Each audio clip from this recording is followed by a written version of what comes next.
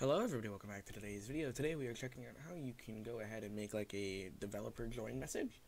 Um, what this does is it's going to allow the developer to receive a message on join if the plug if the server is using their plugin. So why don't we get into this? We're going to go into our events class and we're just going to put it into this events class. We're not going to make it something different, it's not needed. So we're going to create an event handler just like we normally do. And then we're going to do public void. You can name it what you want. In my case, I'm going to name it on dev, dev join.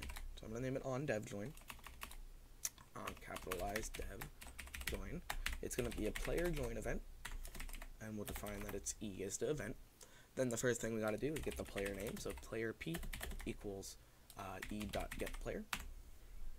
The next line we're going to put in is, um, let's say, if the player dot get name dot equals. Now this is where you're going to put your username. So in my case, it's going to be noodles underscore YT.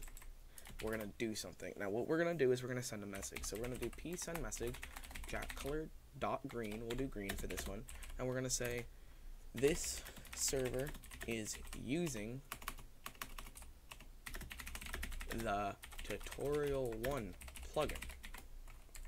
And before we do this, we'll do just p send message chat color dot red say like dev debug message or something like that. Just go along with that. And then we can send a message saying chat color dot I don't know. We'll go we'll go green again. And we'll say feel free to subscribe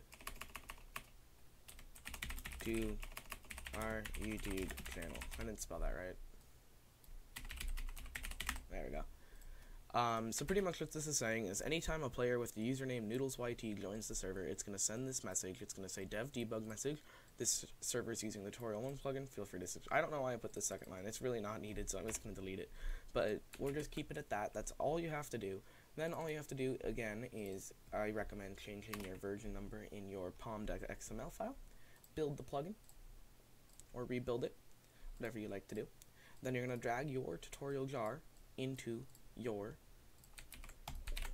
plugin folder and start up your server. Then you're going to open up Minecraft.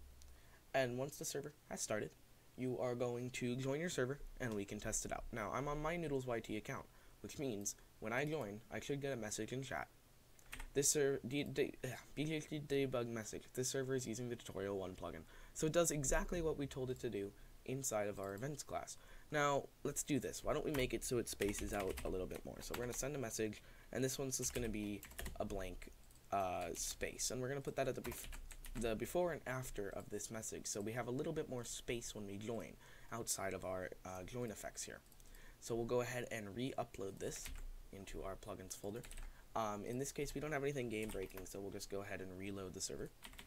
And when I rejoin the server, now you can see there's a space in between here. So it does exactly what we want to do. It creates a correct message. It's easy to use. You can put this in any of your plugins. Do not use this for like force op reasons or your resource will be removed. So don't put like, if my name is noodles, op myself. Don't do that because that would get your resource removed and you banned from Spigot. So try to avoid doing that.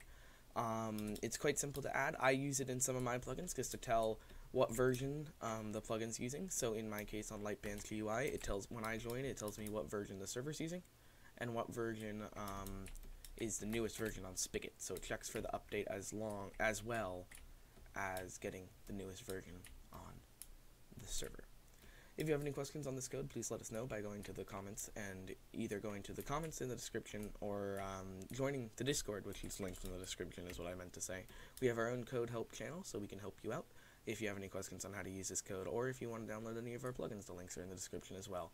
If you want to download our mobile app, it's available on iOS and Android, and you get special codes where you get percentages off or free copies of our plugin on MC Market. Thank you uh, so much for watching today's video. I will see you all tomorrow. Goodbye.